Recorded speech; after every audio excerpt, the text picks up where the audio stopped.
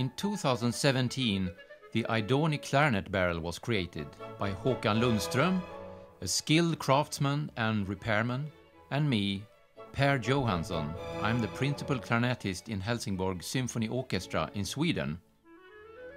The process of making our barrels requires tools and machines with extremely high precision. We are making the parts for our barrels together with a separate factory. Our barrel prototypes are carefully tested and recorded in Helsingborg's concert house, where the acoustics are very sensitive. Back in the workshop, Håkan will make all the necessary corrections.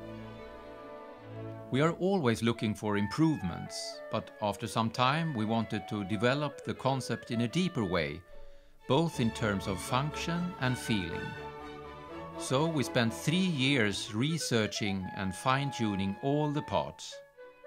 The process was done in close collaboration with Yehuda Gilad in Los Angeles and Herman Stefansson in Stockholm. Their knowledge and individual opinions has been absolutely essential to reach the final result. The name of the new barrel is Model 499. It has got a brass ring at the top and a carbon fiber ring at the lower end. The bore has got a new and unique design.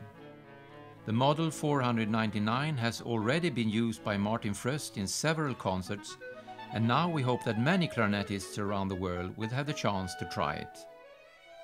The Aidoni Model 499 is now available on our website, aidonimusic.com.